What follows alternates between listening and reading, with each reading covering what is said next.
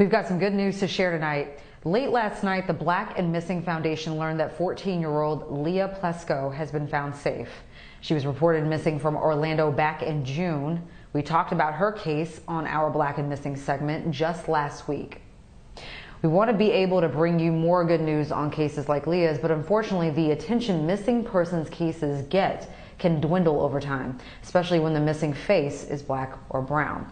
One case we recently featured on our weekly series is troubling as each day passes. Dashina Kyle vanished back in June, just days before her 27th birthday.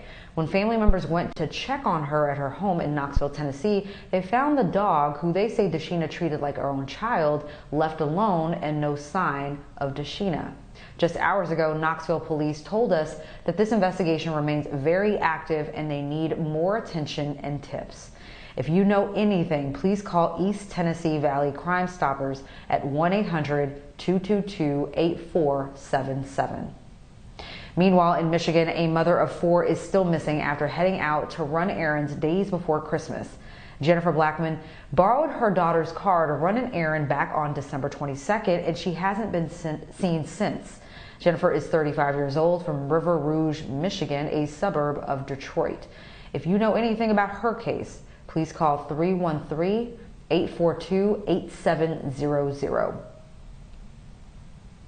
These next few days and weeks will be especially trying and important for another family. They're hoping this little girl's birthday doesn't come and go again without her safely at home. September 6th will mark Arianna Fitts's eighth birthday. She hasn't been seen since April 2016. Her mother, Nicole, was found dead in a park in San Francisco, but Arianna's family has held out hope that someone took Arianna and that she's still alive. Arianna's aunt, Contessa Fitts, joined me recently along with Natalie Wilson from the Black and Missing Foundation to talk about what was going on in Nicole's life at the time of the tragedy and why she believes Arianna is still out there. At the time that uh, both Nikki and Arianna went missing. Uh, Nikki was working um, at the uh, the Best Buy in San Francisco, and Nikki, um, her main focus was work, and for her kids was work for working uh, to take care of her children. She um, she found people who she believed she could trust to uh, care for Arianna while she was working. Uh, Nikki's devotion was um, was like I said was was working and um, unfortunately the people who she thought she could trust to mm-hmm. to look after Arianna uh, turned out to not not to be the case and Nikki had never had hadn't seen her daughter again, and um, there was a struggle for her to get her to get Arianna back, and the end to that struggle ended up in Nikki's murder. Wow. Um, I'm so sorry, Tess. You know, a lot of times we find family members, you know, have a good sense of what might have happened when their loved ones go missing. What do you think happened to Arianna? I think that I think that someone wanted Arianna. Someone either met this kid and fell in love with her because it was easy to do. Arianna is just the sweetest kid, the most yeah. bubbly, sweetest kid. And I think that someone someone wanted her. Someone um, like I said, either someone met her or someone or someone just out there just wanted to have a kid of their own, and um, I believe that the people who looked after Arianna provided gave this gave Arianna to to someone. Um, I believe that that they know the whereabouts of Arianna and and we, I do believe that Arianna is alive and is out there, and I do mm-hmm. believe that she is being taken care of, but that still is not okay. Um, Arianna still needs to be at home. it's very devastating and heartbreaking. Uh, Arianna was two and a half years old when she went missing, and she is going to be eight this year. It's been five years, mm-hmm. and it's just it's so incredibly heartbreaking to know that to not be able to see Arianna growing up. Now, we want to show our viewers what Arianna would look like through an age progression sketch. Now, you say Arianna would be eight right now, right? So while we take a good look at yes. this, tell us a, a, little bit about your niece. Even, even at two, I understand she had a big personality. She did.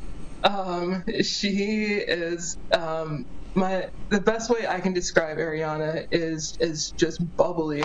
Um, she um, she would just get people's attention. She has a great smile, great energy. Uh, strangers, people who she didn't even know when we would be out with her in public, she would wave to people, and people would respond to that, and they would wave back to her. And she just um, I just remember her being so curious about so many things and um, just uh, uh, her. I remember one of the biggest things for her that would um, get her attention or get her excited was just big, bright, and bold colors. And I remember uh, watching cartoons with her and and uh, how much she would enjoy that. And she, like I said, she just has this this energetic and and uh, very bubbly and uh, personality. Hey Tess, I'm being told that we we've got a, a limited amount of time. I just wanted uh, to ask you. We we talked to the police, um, and one of the detectives said that you know this broad, this broadcast, like eh, BNC right now, making the case, really does help close cases. What do you want our viewers to know most tonight, as as we all try to help in the search for Arianna? Uh, I want everyone to know that first, my sister Nikki did not deserve what happened to her, and the way that we can help Nikki is to bring Arianna home. Um, we all of all of us who love and know Nikki, we want Arianna home. So we just want everyone to know that if anyone sees her, knows anything, anyone who they may think is her, who looks like her, just any tip or anything, um, to please just contact authorities. There's a $100,000 reward being offered by SFPD. There's a $10,000 reward being offered by Best Buy where Nikki worked. Um, tips can be anonymous. Um, you can contact the SFPD. You can contact the Black and Missing. Um, you can, uh, anything that you know, um, like I said, can be anonymous. We just really want Arianna home. That's my plea, is to please help us bring Arianna home. Uh, Natalie, we've been doing these stories with your organization, uh, the Black and Missing Foundation, and um, for weeks now. And this sounds more hopeful of a case because when we talked to the police today, they said that they were following aggressively new leads and that some of those leads had led them to Las Vegas. Um, so talk to us and our, our, viewers about how it's important to bring awareness to missing black women and girls cases. Absolutely. Um, we believe that someone knows something. And for the past five years, we have been searching for Arianna. And all it takes is one person with um, some type of information to come forward that could provide closure for the family or at least answers. And media coverage, and we're so thankful to the Black News um, channel because it's media coverage like this that makes the community aware that someone is missing.